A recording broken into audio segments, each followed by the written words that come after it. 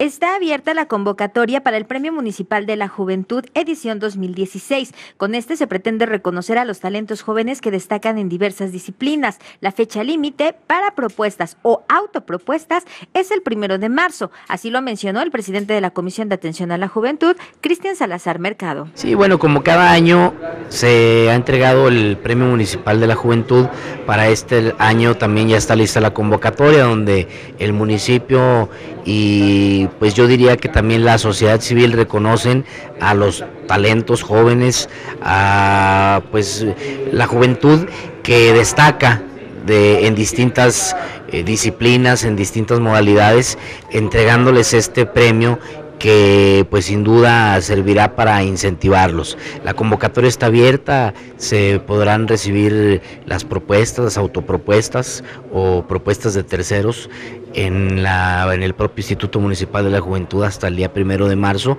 y esperar a que la comisión que tenga bien determinar quiénes serán los ganadores, pues decidan eh, quiénes se llevarán este reconocimiento. Pues la verdad es que sí ha habido un aumento muy importante, no, no recuerdo el dato preciso, pero sí ha habido un incremento bastante significativo de otras de otros años con los que hemos tenido en esta administración. Esto se ha debido porque se debe a que se ha abierto mucho más la convocatoria, se le ha dado mucho mayor difusión, creo yo, y esperamos que este año pues también eh, logremos superar la, meta del año pasado, eh, invitar a todos los jóvenes que quieran participar, que quieran autoproponerse o que quieran proponer a alguien, pues que están abiertas las puertas del instituto, del ayuntamiento, para que acudan a hacer.